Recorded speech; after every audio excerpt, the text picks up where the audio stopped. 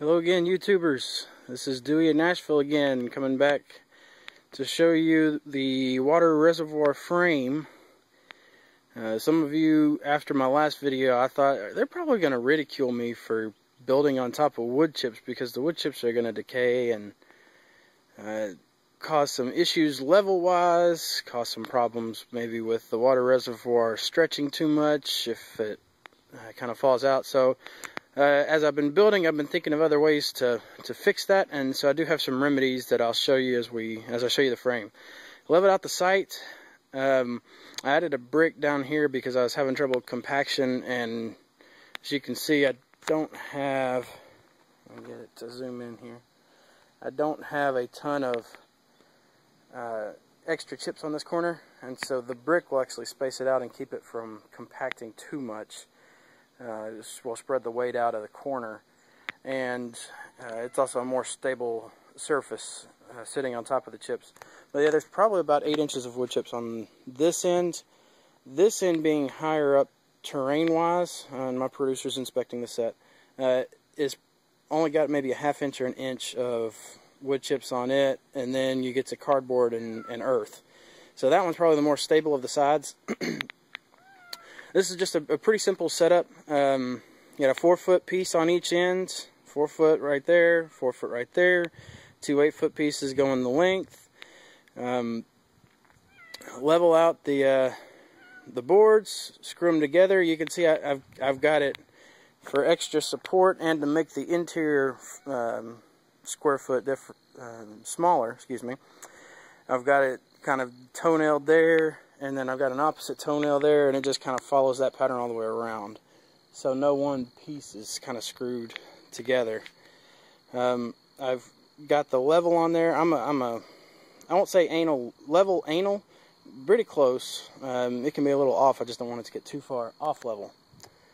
So um, I've got the pieces down and to combat the whole wood chip shrinkage issue I hammered in some of those landscaping stakes I told you about. Ordinarily, I was going to just kind of sit those in there, uh, hammer them down, and then let the uh, plywood rest on that. But the thing is that I didn't want the frame to sink. Uh, I actually, get in here, I screwed them into the frame. And I've got, uh, see, I've got six on each side. Um, they're kind of two closer to that end since it's got more wood chips to rest on. And then you can see the six on this side. Found out that um, the three inch screws that I had aren't good for that because they'll actually go almost a full inch through the wood. So uh, I used the two and a half and there's still a little bit sticking out. Uh, I'm not sure if you can make that up. There we go. You see a little bit sticking out. And the extra wood shavings are for the hole the float barb and screw will not go all the way through the 2x4, obviously, because it's not you know, an inch and a half long, inch and three quarters, whatever the exact measurement is of the 2x4. So I've got um, a hole drilled there, and this will allow to get plugged in. It'll go through the wood like that. There'll be a plastic, um, let me focus, plastic layer down here that will come up the sides. This will go through the plastic. I'll cut a small hole. It's got a uh, neoprene washer on there. I'll probably also add a uh, garden hose washer. It will go through and then make sure I try and stay in focus.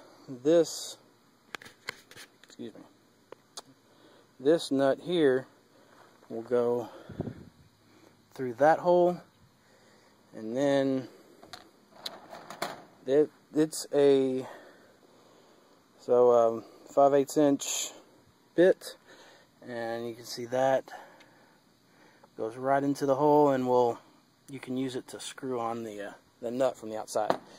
Uh, the diameters I used still got their sawdust on them from when I did the the drilling. One inch for the big hole and how I kind of gauged it was once this tip, this you use first. I found out the hard way you can't use the smaller bit first, you have to use a bigger bit first.